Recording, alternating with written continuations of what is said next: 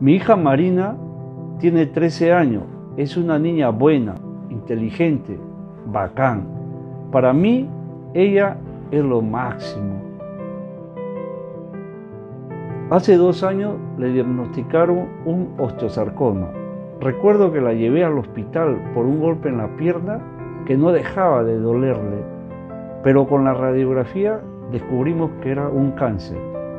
Tuvimos que actuar rápido porque estaba avanzando. La historia de Marco y de Luisa es la de muchos padres en el Perú que se enfrentan al cáncer infantil. Y aunque es altamente curable, también existe un alto porcentaje de abandono del tratamiento. Tienes que ser fuerte, me dijo el doctor. Esto necesita una amputación. Teníamos que decidir rápido, porque si no mi hija iba a tener menos probabilidades de vida. El osteosarcoma es un tipo de cáncer que comienza en las células que forman los huesos y se presenta mayormente en niños y adolescentes.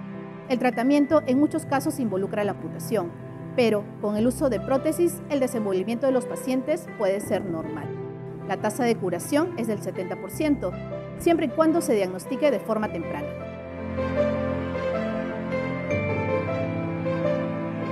Mi hija es una guerrera. Cuando le dije que tenía cáncer y que necesitaba una operación, se puso muy nerviosa, pero fue muy valiente. Que me operen, papá.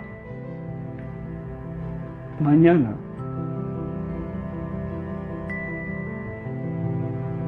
Yo quiero vivir. Así me dijo.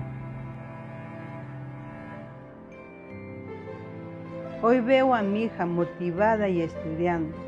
Mi niña es una artista, le encanta pintar y dibujar. Quiere estudiar diseño de interiores. No tengo duda, será una gran profesional. Ahora estamos a la espera de su prótesis. Habiendo superado esto, ella puede enfrentar cualquier cosa en la vida.